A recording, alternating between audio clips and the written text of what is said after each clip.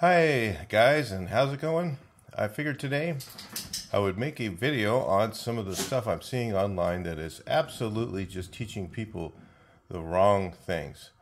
And I think we're going to just talk about this stuff as we see it and uh, do a little commentary on some of these shorts and videos that I've been watching that just basically show you the opposite of what you should do. And uh, people are liking it. I mean, you look at the comments on this video and this guy says, what do you say? Wow, dude, that's awesome. Okay. well, that's my comment. Basically, this guy right here, let's watch, rolls out this whole area with one dip. What do you guys think's wrong with that? Let's see your comments below. Plus, he's going so fast, he's rolling right over the switch plates. Wonderful. I just love that. Anyway, let's back up. Here's the beginning. He takes a, a wet roller and W's out the wall, which is normally what you do when you do a section. You don't do the whole wall like that, with even with an 18. So first of all, he's using an 18 inch roller. Um, and you can see how wide those cuts are. Uh, you spend that much time cutting in, and uh, you, have just wasted half your day cutting in all that. When you could make a real little two inch cut, use a nine inch roller, and uh, go around everything in there. You wouldn't need to use your seven inch like he's doing when he's doing the cut in. They don't show that part because it's definitely very slow going. And the second thing is is when you don't dip your roller like that and you push on it to try and get everything out of it, um, what's happening is that's just ruining that roller's spring tension and it's not able to pick up paint the next time you go roll with it. So what happens is by the end of the day, if you keep pushing your roller like that, um, you you actually are holding and releasing less paint by doing that. So it's better to dip your roller, okay, and actually release the paint onto the wall and dip it again. So like the first couple times you dip your roller, you need to go and only go a very short period. And, and so to get the roller really sopping, what I'll do is I'll do like two or three feet with the roller. I use a nine inch, so it's still a little different. Um, but you dip in, you dip your roller in, you go ahead and, and, and take it just a short little bit, dip it again, do a short little bit, dip it again, do a little short little bit. And once your roller is making this noise that his, his roller's making, that sounds dry like that, you've gone too far. You're ready to dip it again. So if you keep your roller really wet like that, it actually holds and releases more paint, uh, and you'll get a lot more mileage. That's why guys, a lot of guys will use a 18 inch roller because they think, wow, um, you know, it goes a lot further, but it, it really doesn't. If you if you take a nine inch and you keep loading it and loading it and loading it and getting it really sopping wet, and don't push on the roller and let the roller re release onto the wall, you're going to get a lot more mileage out of that dip after a few dips and you get down the wall, you start it starts keeping that roller nice and wet. That's the trick is is to take it less far. As soon as it starts to make that noise, this you've gone too far. So keep that roller nice and wet. You'll get a lot more out of it that way. Uh, plus, when you're rolling this fast, you're just basically that that baseboard right there, even though it has tape on it, it's probably got paint all over it. The other thing is the wall. Uh, the uh, wall is just entirely covered in cat eyes, which is where the paint's not covered. But in the video, you really can't see it. It just looks like wow, it went from one color to another color. You know, painting this fast, you know, doesn't help you. It really doesn't. But if you see how this roller is right here, if he stopped right there and dipped it, and then before he started rolling, dipped it again, and then dipped it again, it would be covered probably in one coat. Now all that has to get coated, coated again at least.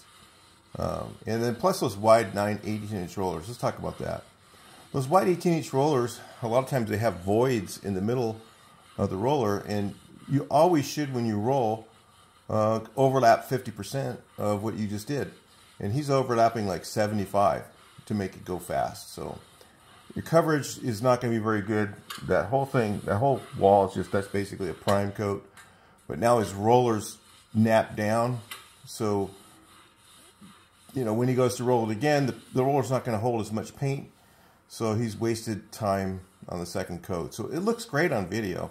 And uh, it looks like, wow, look at he covered the whole wall in just a two couple of seconds. He's just like really fast. There's probably paint on the ceiling too because he's rolling so fast. So anyway, it doesn't pay to to, to roll fast, that fast. Um, just keep yourself an even keel. Plus, you're going to wear yourself out.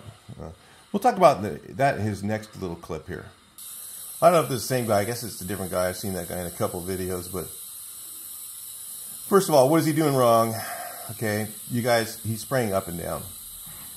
Uh, look at look at how far down when he bends all the way down. Look at his back.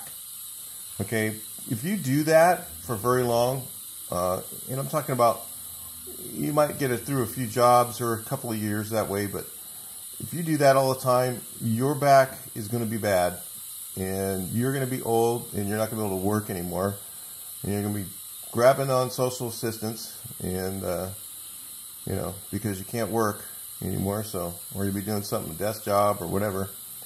So, holding, having your tip turned that direction is not the way the gun was really designed. That was for certain situations, and we'll talk about that as we're looking at this.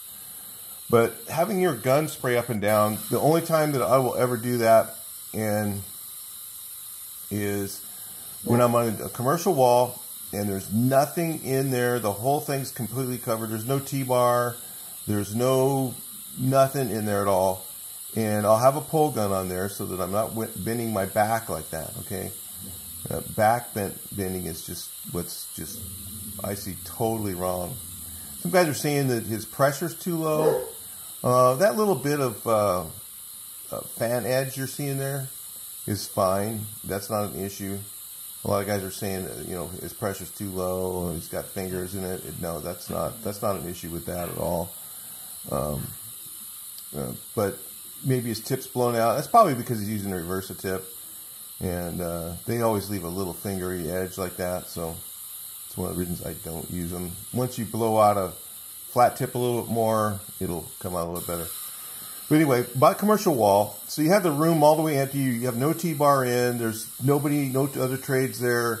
You cover your whole body up. You cover your head up. You cover your, just kind of look like this guy is right here.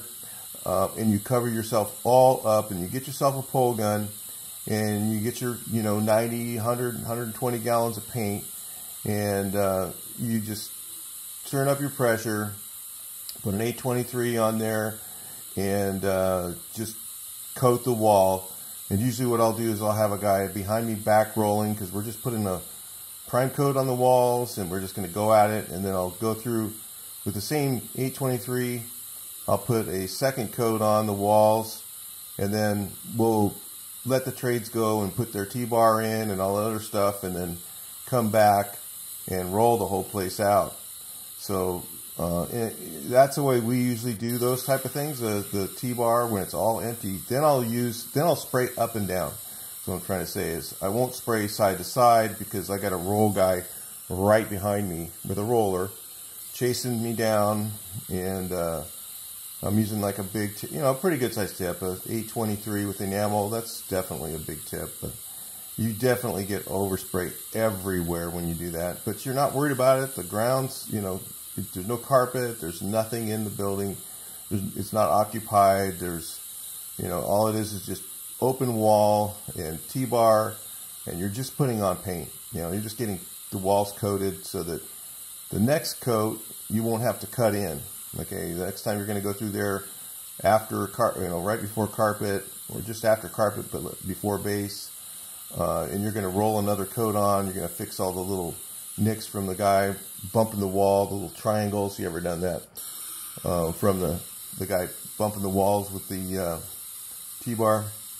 They always seem to hit their scaffolding on the wall. It makes a little little triangle thing. And uh, you know, we'll go around and fix all that, or you, your uh, drywaller, go fix it, and then you go back through, coat all your patches and repaint it. That's the only time you'll spray up and down. This guy here is killing his body right now. So, yeah, it just, you know, it just looks good on video because, yeah, it looks like, wow, he just painted a whole room in a couple minutes and, you know, it's just basically entertainment.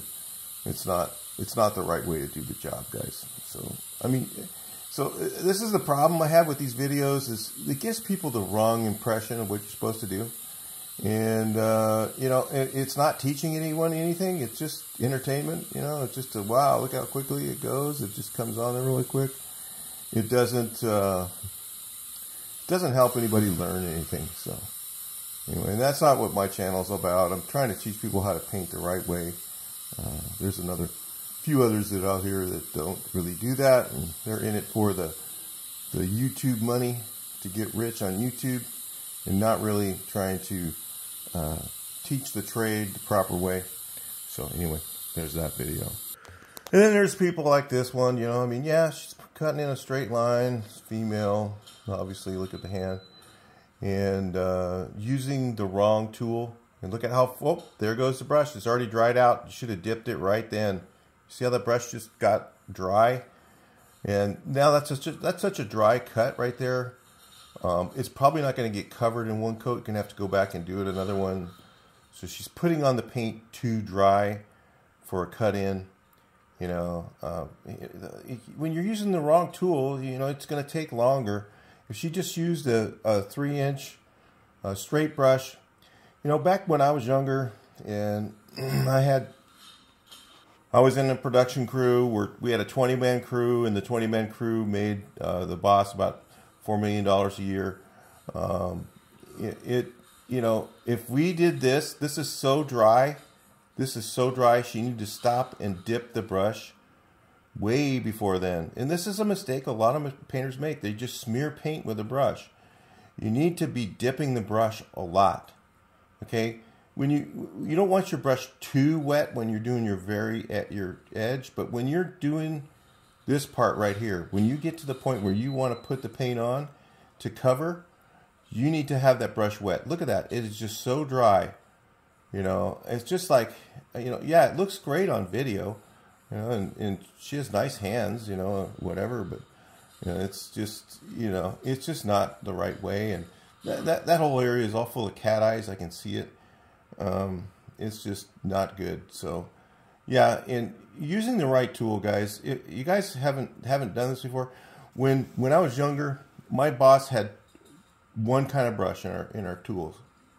It was either you had a brush or a sash tool. This is a sash tool, and if I picked up a sash tool, my boss would go, "Go, can you go get a brush and, and paint this stuff?" And if I picked up a sash tool, he would scream at me.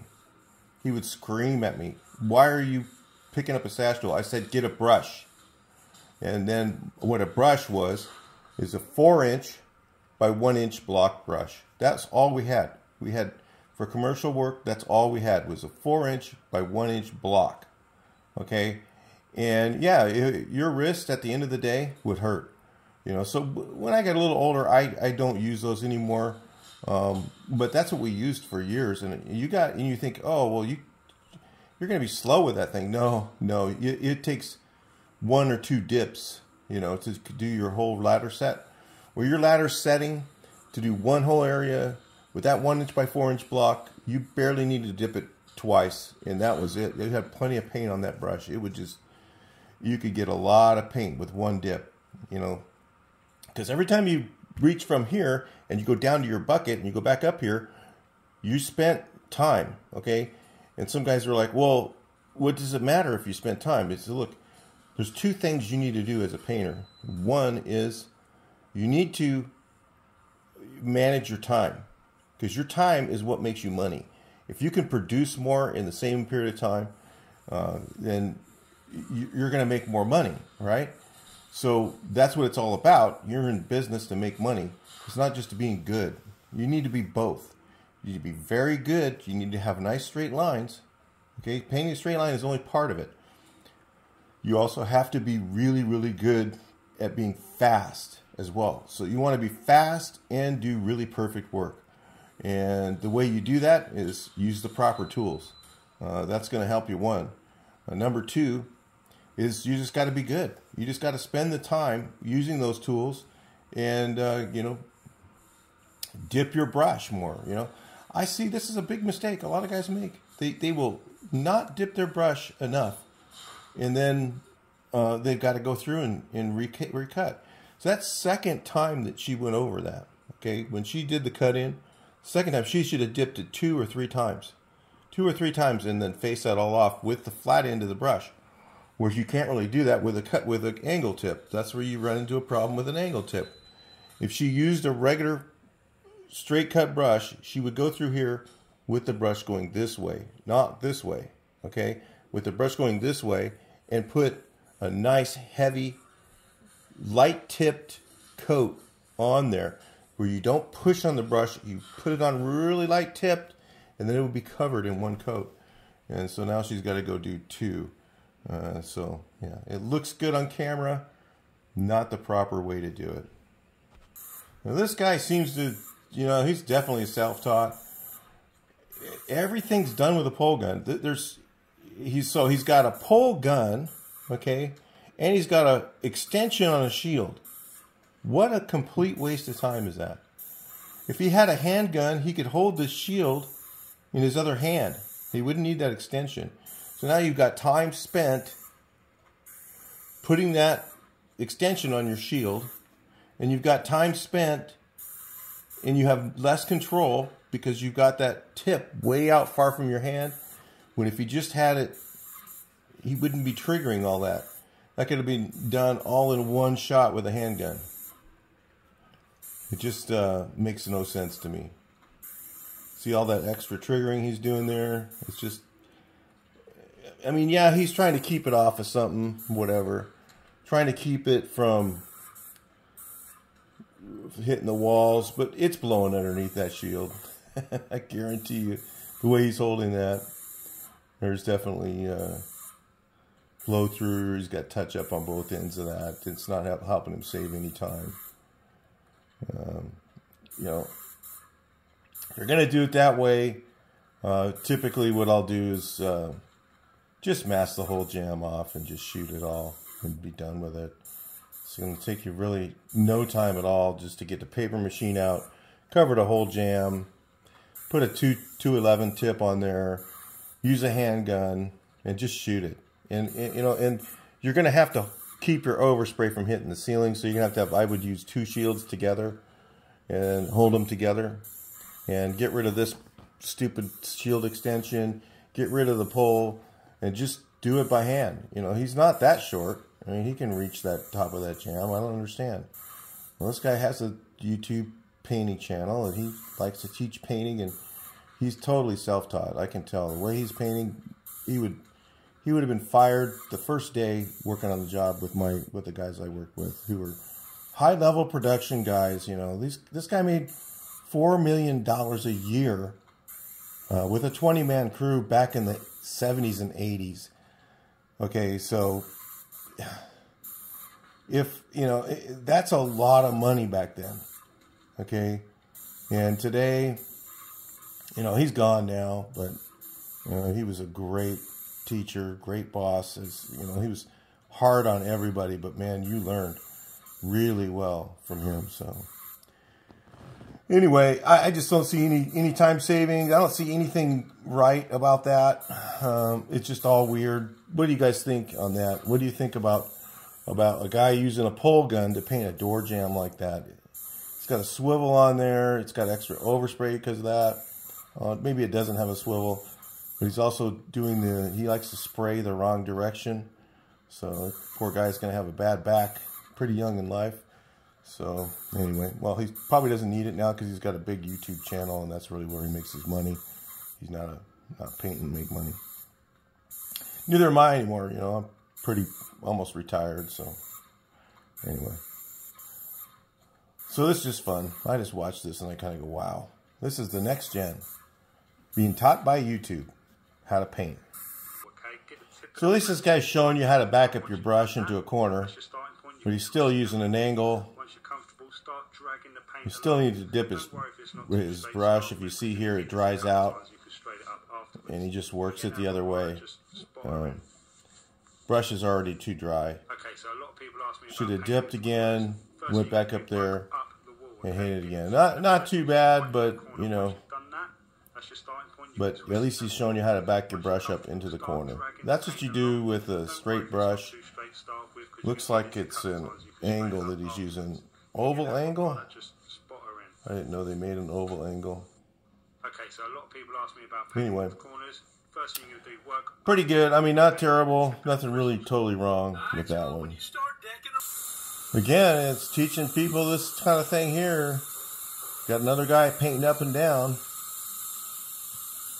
You know, it's either, God, is his paint like really, really thin? Or is he just like using a really small tip and have it way over pressurized? You know, it just, uh, you know, I would, I just never would need to paint that slow. I'd be going up and down that wall a lot faster if I was doing it, but I wouldn't be going up and down either, guys. You know that. I'd be going side to side so your body motion is better you know, I don't know what they're afraid of. You know, I think they're probably a lot of guys because they use too much pressure or too little pressure. If you go up and down a wall like that, um, what happens is you don't really notice the striping. So when you're going this way, some guys will, you know, not want to go this way because, you know, they have their pressure up too high and they're overlapping and they've got heavy spots in the wall because they've got the pressure up too high or too low and you can see the striping from the uh, stuff, and you know, uh, it's just that's probably what they're trying to cover up. When they could just learn to work that knob and turn the pressure down or up and get it the proper pressure, and then they wouldn't have to need to go up and down like this. So. You notice his uh, paint's atomizing pretty well, coming off the edges of the fan, going through the fan, but it just looks like it's a really small tip for going that to doing that slow. You know, you could use a larger tip and get a lot more, a uh, lot more out of, of what you're doing for the same time. You know, you could probably run through that room a lot quicker. Brand new construction. Yeah, you know, you could put on the paint this way or whatever, but I still, again, wouldn't be going up and down, be going side to side. You know, you could go through there and turn the pressure up or whatever and put on your pole gun and just blast a coat on. You know, if it's completely no jambs in it, you're just putting a prime coat on. That's when you want to use that thing. So anyway, well, I might even do that on. I don't do any new construction like that. So, but uh, if I was doing that, it looks like actually it looks like an office. Now that I'm looking at it, I can't really tell what's around him. Uh, if it's an office, and you're using smooth wall like that, that's when I would get get the pole gun out, and I would probably go up and down with a pole, and have a guy chase me with a roller, and you know put that roll coat on, and then get a couple coats on the wall, then go back and roll it the final final one coat over the patches, one coat over the uh, whole area to cover up all the trades mess, you know, and then be done with it. So anyway, that's just a few videos I saw. I just thought of, uh, you know, I just kind of scrolling through a few of them, and I really, you know, I watch almost every one of them. I just don't see very much being done right. So it scares me that the next gen is just not learning how to do this trade. So anyway, I'll talk to you guys in the next video. Hope you enjoyed this, and hopefully it helped you learn how to paint better. Talk to you next one. Please like, share, and subscribe.